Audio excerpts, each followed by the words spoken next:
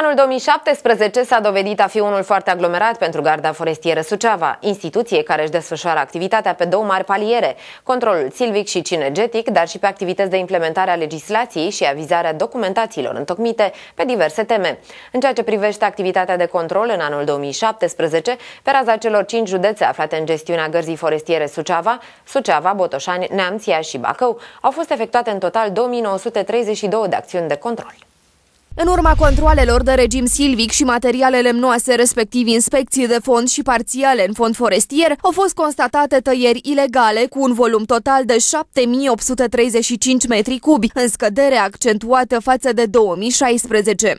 În cursul anului 2017 s-au efectuat un număr de 2932 de acțiuni de control privind respectarea regimului silvic și circulația materialului lemnos, precum și inspecții de fond, totale sau parțiale, în fond forestier.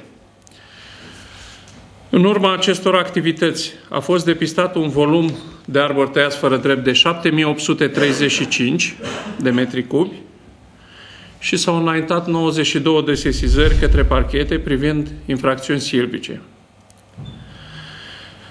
Tot prin inspecții de fond s-au preluat în pază suprafețe totalizând 1290 de hectare și s-a realizat transferul între structuri silvice, deci trecerea terenului forestier de la un ocol la altul pentru 1234 de hectare.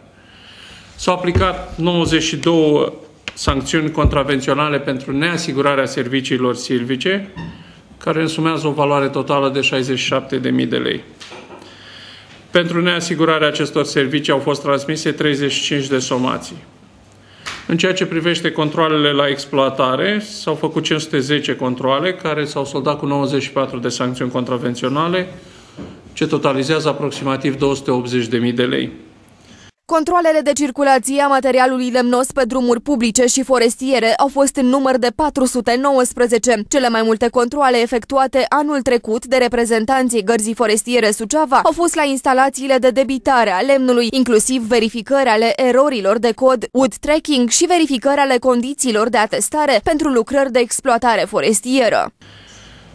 Controlele de circulație material lemnos au totalizat un număr de sau au fost în număr de 419, soldate cu 74 de sancțiuni contravenționale și cu o valoare totală de 260.000 de lei.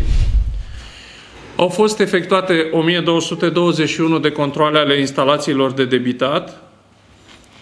Rezultatul acestor verificări s-a concretizat într-un număr de 627 de sancțiuni cu o valoare totală de 2.007.000 lei.